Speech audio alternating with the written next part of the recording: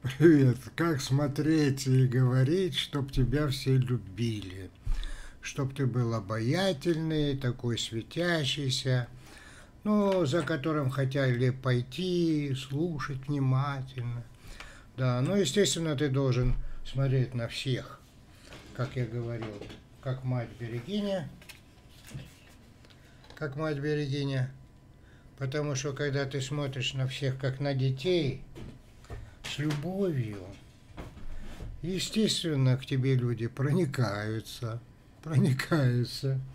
И независимо от того, какой ты мужчина, какой ты мужчина, какие у тебя руки, независимо от этого.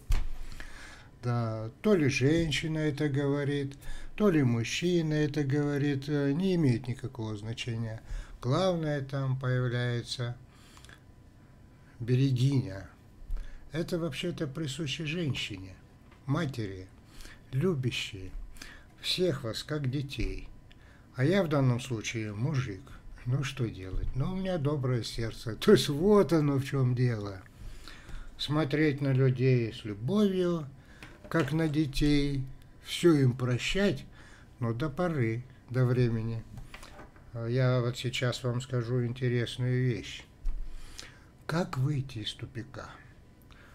Как выйти из жизненного тупика, если вы находитесь в состоянии какого-то смятения, не знаете, как делать, что делать, что сказать, как смотреть, как говорить, как жить. Как вообще экзамен сдать или там как на встрече что-то, как выступить.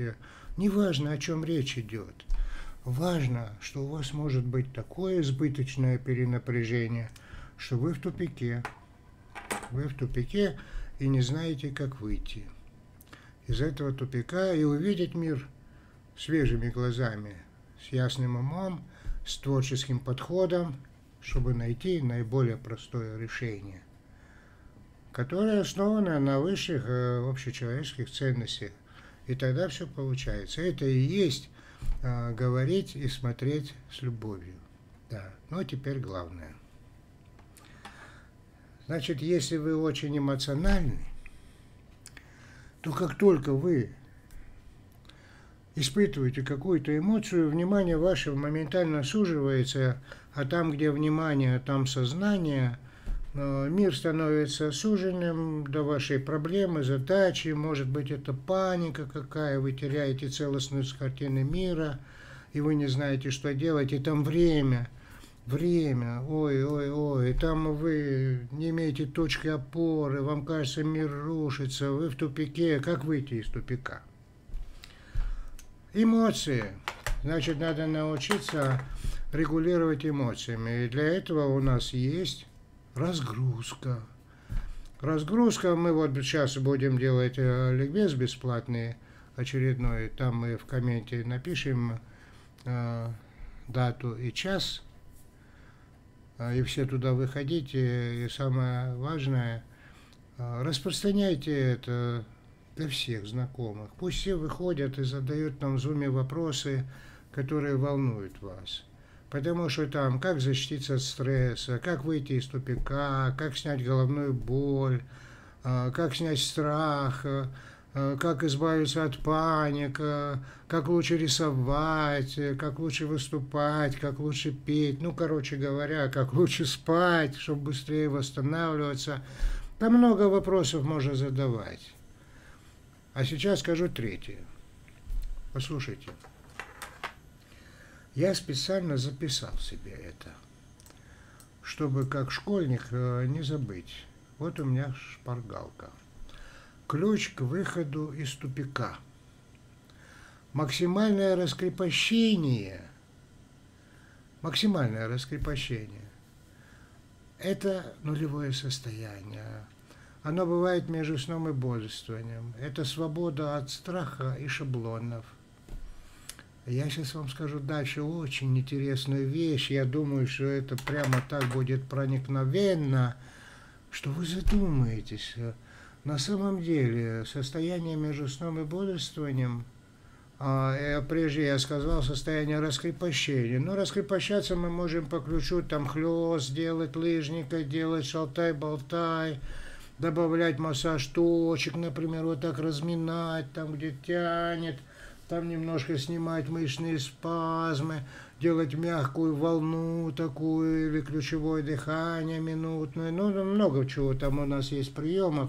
И самое главное, принцип подбора путем перебора, я неустанно повторяю это, что ключ это не шаблон, а принципы подбора индивидуальных приемов, с помощью которых вы, подбирая эти приемы, находите не только то простое действие, которое иногда вы делаете инстинктивно, и которое вам помогает снимать напряжение, выходить из состояния стресса, в состояние восстановления, и в состояние творчества, вдохновения – Видите, я все время повторяю одно и то же, чтобы дошло, дошло, дошло до новичка, который, например, не участник школы нашей, человек будущего Homo Futurus, а просто случайный прохожий, зашел к нам на ролик и вдруг не сказал, да это какая-то ерунда, что-то там несут белиберду, там туда-сюда, потому что он не вник, не понял, не осмыслил, а эмоционально среагировал, как я сказал в начале. А эмоция сужает восприятие.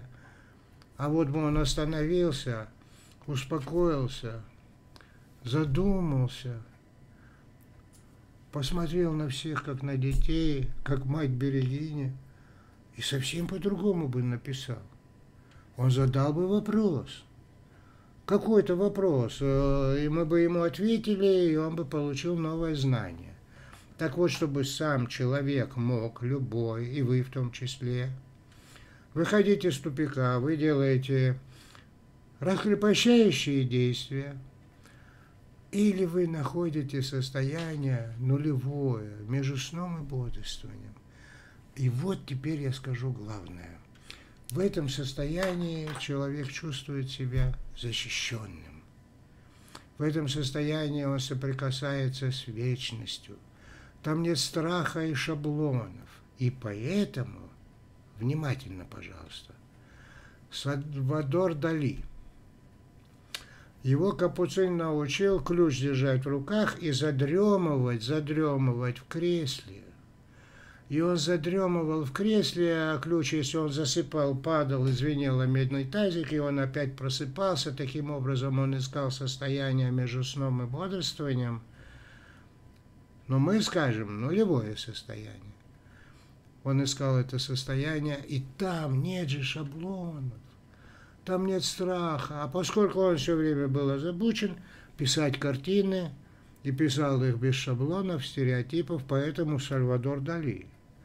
И он пользовался этим, он выходил из тупика, он выходил, раскрепощался и выходил до максимального раскрепощения за счет разгрузочного действия. Он делал эту волну, и вот этот ключ, э, если он задремывал, он падал, извинел, то есть он все время дрейфовал между сном и бодрствованием в поиске состояния, мы бы сказали сейчас, нуля. А кто-то там из психологов давно уже говорит в мире, что это дефолт работы мозга, и кто-то говорит, что это нирвана, уже тысячи лет говорит – и кто-то говорит, что это медитативное состояние, и кто-то говорит, что это состояние дзен, и кто-то говорит, что это альфа-состояние или дельта-состояние. Ну, короче говоря, дело не в этом, а дело в том, что задержанное во времени, задержанное время, это состояние свободного сознания. Нулевое состояние, которое, кстати говоря, я вам напомню, кто этого не знает, до Великой войны Всю Европу обучал один человек, великий аптекарь, которого звали Эмиль Куе. Он обучал их всех своими лекциями. Это был потрясающий человек, который придумал вот это вот самовнушение, а, когда человек, задремывая между сном и бодрствованием, или проснувшись, когда он еще не до конца проснулся, внушал себе – внушал себе, что он будет чувствовать себя хорошо. И многие люди во всей Европе там избавлялись от, от артериальных прыжков давления, там они там еще от астмы бронхиальной и от психосоматических заболеваний. Он очень многих людей таким образом вылечил. Так вот, смотрите, Эмиль Куэ, который говорил о здоровье, а, и Сальвадор Дали, который рисовал картины, оба пользовались одним и тем же состоянием. Вот о чем я вам хочу сказать. Оба пользовались одним состоянием. И вот недавно ко мне приходит там на скайпе человек и говорит, я делаю ваши раскрепощающие приемы.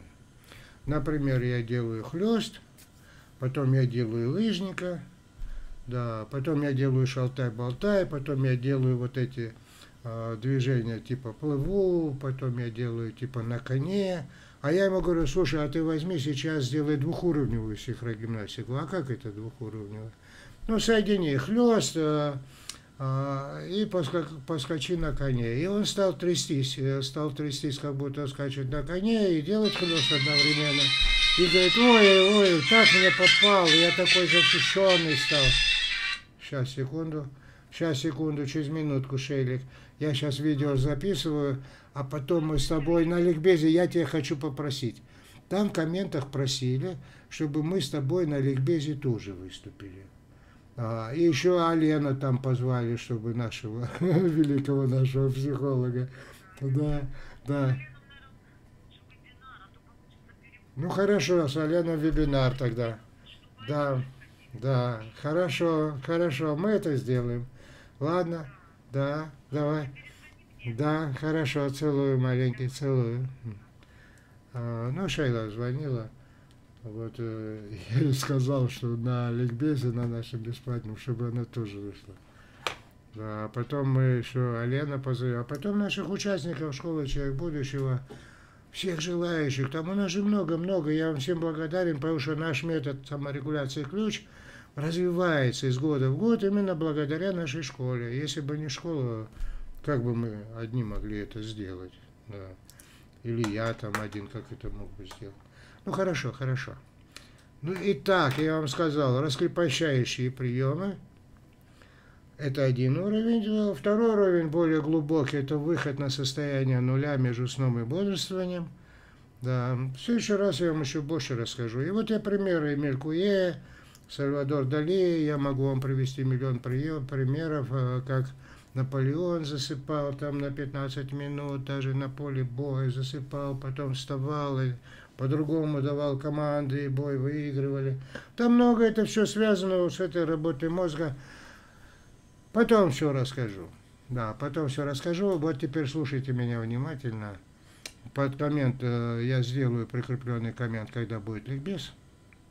Все выходите на ликбез, это будет помощь психологическая, это будет поддержка для всех, для взрослых, для школьников, для студентов, для всех, для бабушек, для дедушек, для спортсменов и художников, для писателей, ну, для всех, чтобы мы могли выходить из тупика, могли эмоциональную реакцию, первую эмоциональную реакцию – уметь регулировать, потому что вот у многих людей страх возникает, потому что эмоция включилась какая-то, и тут же порция гормонов брызнула, если щитовидкой что-то или шея зажата, да, порция гормонов и все спазм сосудов, э, и ощущение, что все на тебя валится, и вот это мы будем там помогать таким людям, да. Такие же вопросы задавайте, любые, как лучше рисовать, как лучше петь, как лучше танцевать, любые вопросы. Видите, как я вас на вас смотрю? С любовью, да. И вы так. Потому что люди, дети, Эриксон говорил, кажется, так, что я слышал, что есть где-то взрослые люди, но никогда не встречал. До встречи.